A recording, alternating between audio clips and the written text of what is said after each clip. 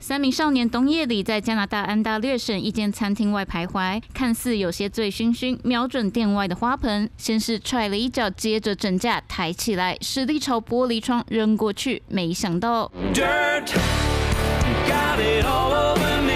不止摔个四脚朝天，泥土砸了满身的画面，全被餐厅监视器给录下来。What did you say? What an idiot! 少年满身泥土倒在雪地里，两个同伙早就笑到不行。I laughed. I thought it was hilarious. I remember being young and being drunk. I mean, I never tried to throw a planter box out of business. 幸好花盆里装的只是一般泥土，因为 It could have been worse.